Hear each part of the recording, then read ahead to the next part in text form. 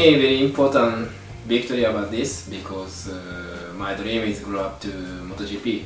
So then, yeah, it was so excited, emotional. Won the race. It was just scream inside the helmet because before I, I passed the finish line, so I'm thinking about nothing. Just my my mind is just like a white. But anyway, after the check line, I feel I don't have any more happiness things. Maybe I cannot feel anymore like this feeling. Yeah, the team is for me very nice because they're working very well, like uh, very professional. A lot of rider were there and uh, a lot of rider had won and I had champion. So this step is very good for me. I, I learn a lot from the team, Aki-san and mechanics.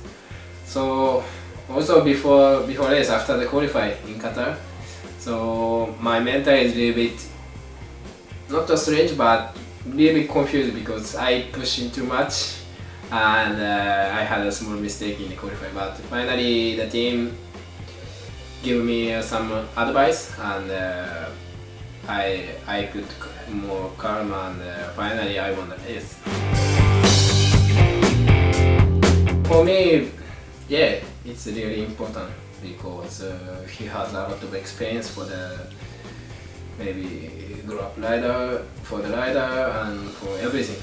So then if I follow his advice and everything, maybe I can be good rider.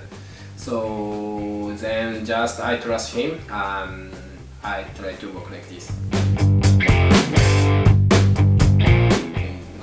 I stay with family.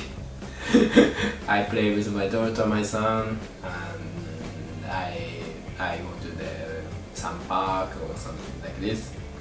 So for the training, normally I like running. In a few, few years ago, I I like bicycle, but now I don't like so much. then I prefer running. I have one house in Japan, then I stay here with my family, my daughter, my son, and uh, third, third daughter. Yeah, it's a little bit noisy, you know, sometimes the kids don't stop.